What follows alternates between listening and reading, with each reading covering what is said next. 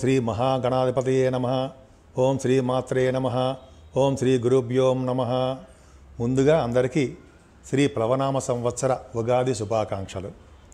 మనం ఇప్పుడు ఏప్రిల్ నెలలో ఏ రాశుల రాసుల వాళ్ళకి ఎలా ఉండబోతున్నాయో మనం తెలుసుకోబోతున్నాం.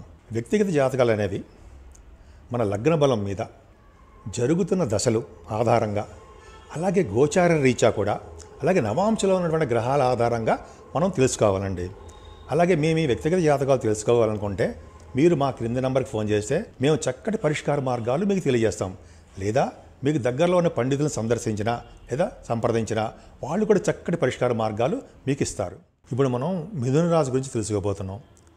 మీ మిథున రాశిలో కుజుడు ఉండడం వలన మీకు ఆరోగ్యంగా అంతగా ఉండకపోవడం సంతోషంగా లేకపోవడం చిరాకులు కలగడం ప్రతి వాళ్ళని ఛేదరించుకోవడం కొంచెం మీ మాటకు విలువ ఇవ్వకపోవడం జనాలు జనాలు మీ వాటికి విలువ ఇవ్వకపోవడం జరుగుతుంది.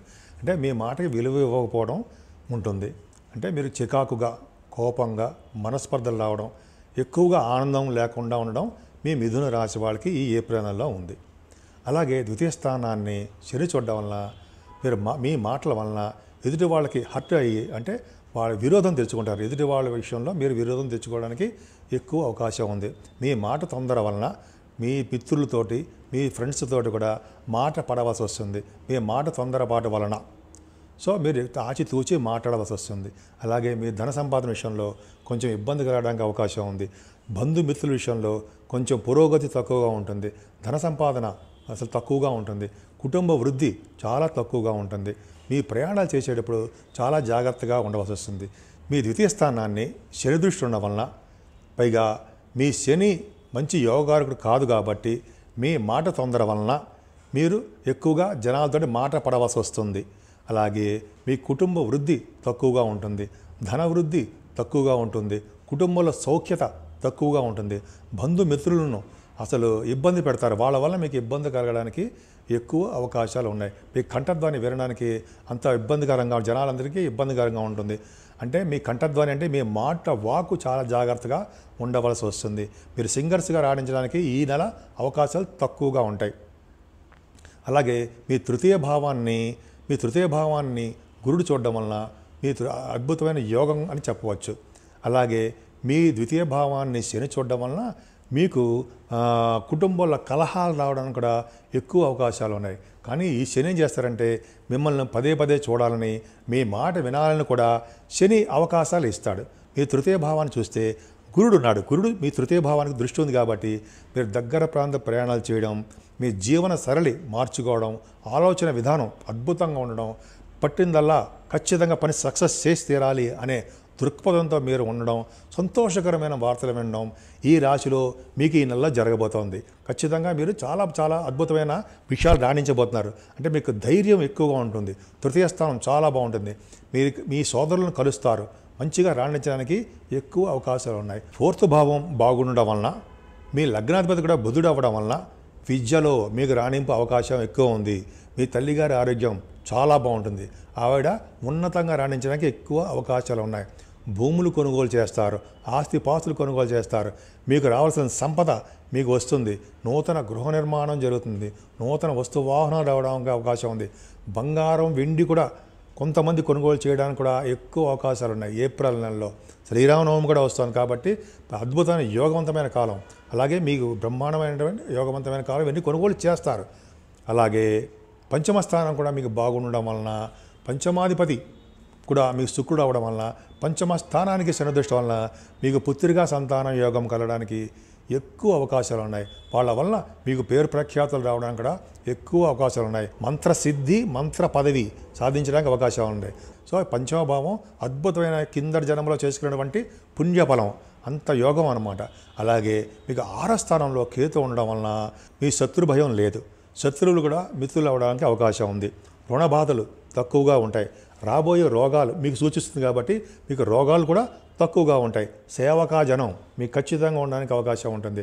మీకు శత్రువులు కూడా మిత్రులు అయినప్పటికీ వాళ్ళ వల్ల కొంచెం మీరు జాగ్రత్తగా మీరు ఉండవలసి వస్తుంది. అంటే శత్రువుల విషయంలో మీరు జాగ్రత్తలు పాటించవలసి వస్తుంది. మీరు కాంపిటేటివ్ ఎగ్జామ్స్ రాస్తే ఖచ్చితంగా సక్సెస్ అవ్వడానికి ఎక్కువ అవకాశాలు ఉన్నాయి.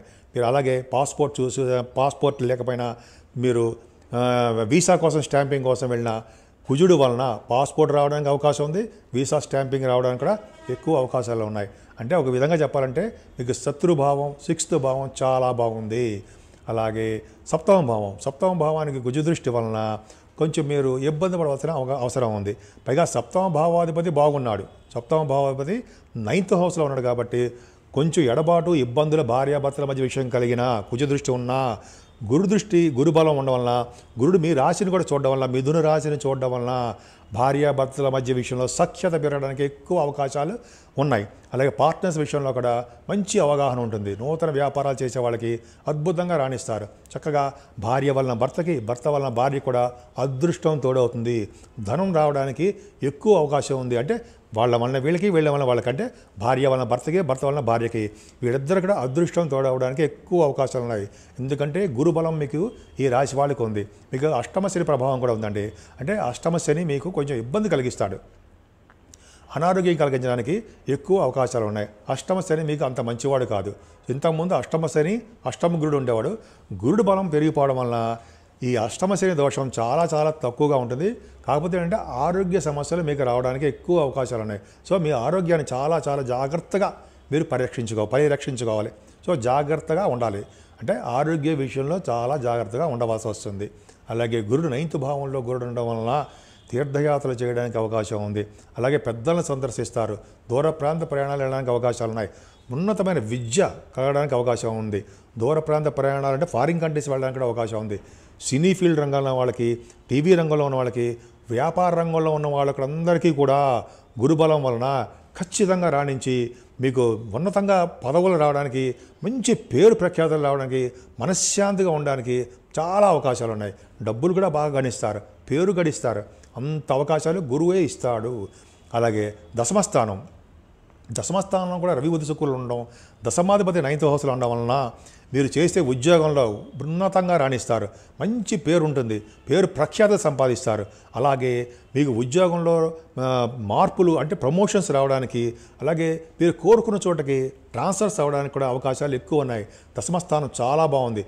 నూతన ఉద్యోగ అవకాశాలు రావడానికి కూడా ఎక్కువ అవకాశాలు ఉన్నాయి. దశమస్థానం అంటే ర- గురుడు. మీ గురుడు అంటే ఫైనాన్స్. ఫైనాన్స్ రంగంలో బ్యాంకింగ్ ఇండస్ట్రీస్లో ఉన్న వాళ్ళకి బ్యాంకింగ్ రంగంలో ఉన్న వాళ్ళు కూడా ప్రమోషన్స్ రావడం నూతన అవకాశాలు రావడం అద్భుతంగా రాణించడానికి అవకాశం ఉంది. అలాగే గవర్నమెంట్ ప్రొఫెషన్ వాళ్ళకి కూడా మంచి అవకాశం ఉంది. అలాగే దశమ స్థానాధిపతి గురుడు అవడం వలన పైగా దశమ స్థానంలో రవిబుధులు ఉండడం వలన మీకు రాజకీయ రంగంలో ఉన్న వాళ్ళకి పదవులు లభించడం ఉన్నతంగా రాణించడం మంచి ఆనందంగా ఉండడం ఒక సంపదలు కలగడం పేరు ప్రఖ్యాత కలగడం రాజకీయ నాయకులకి ఈ నెలలో జరగబోతోంది. అలాగే రవి బుధ శుక్రులు లాభస్థానంలో మీకు ఉన్నారు మహా అదృష్టం. మీరు పట్టిందల్లా బంగారం అంటారు చూసారా? అలాగే మీరు ఏ పని సాధించినా పట్టుకున్నా సక్సెస్ అయి తీరతారు. అంటే కాంపిటేటివ్ ఎగ్జామ్స్ ఎగ్జామ్స్లో మీరు రాసినా అంటే ఉద్యోగాల కోసం మీరు ప్రయత్నించినా నూతన వ్యాపారాలు చేసినా అలాగే ఎక్కువగా వ్యాపార రంగంలో ఉన్న వాళ్ళకి ఖచ్చితంగా రాణించడానికి అవకాశం ఉంటుంది. అలాగే కంప్యూటర్ రంగంలో ఉన్న వాళ్ళు కూడా మంచి రాణింపు ఉంటుంది. ప్రైవేట్ రంగంలో ఉద్యోగ అవకాశాలు ఎక్కువగా ఉన్నాయి. అద్భుతంగా రాణించడానికి అవకాశాలు ఉన్నాయి. సో మీరు కష్టపడమే మీ తత్వం. కష్టపడండి ఖచ్చితంగా ప్రతి విషయంలో సక్సెస్ అవుతారు. మిథున రాశి వాళ్ళకి చాలా చాలా బాగుంది ఈ సంవత్సరం. ఏప్రిల్ నెల ఇంకా బాగుంది. సో టెన్త్ హౌస్ బాగుంది. నైన్త్ హౌస్ బాగుంది. అంటే భాగ్యస్థానం రాజ్యస్థానం లాభస్థానం అన్నీ బాగున్నాయి కాబట్టి మీకు అదృష్టం తోడు కూడా ఉంది కాబట్టి గురుబలం బాగా ఉంది కాబట్టి కష్టపడి చదవండి. ప్రతి విషయంలోనూ కష్టపడండి. ధర్మబద్ధంగా ఉండండి.